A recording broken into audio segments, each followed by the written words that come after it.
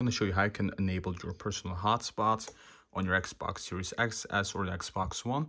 So first of all, what you want to do, guys, is you want to go ahead, go for to your personal hotspot. It doesn't matter if you have Android or iPhone. And first of all, guys, what you need to do is you want to uh, disable it, and then you want to enable it.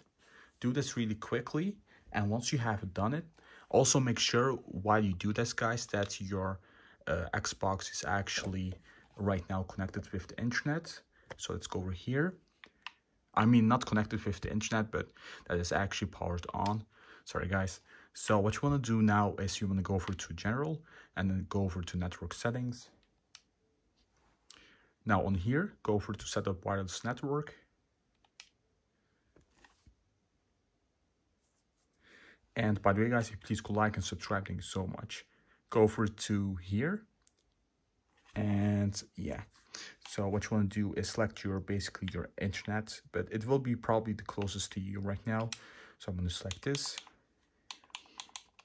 Minus subscribe. One second. All right. I was just uh, making sure that it was subscribed for a second.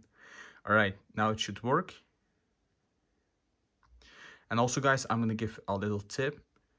Uh, don't close off your Xbox if you want to keep the Wi-Fi. So what I mean with that is, uh, with closing off, you can basically like set it in sleep mode. But if you do this, for example, hold it and go over to turn off console completely, then you have to connect with your internet over again.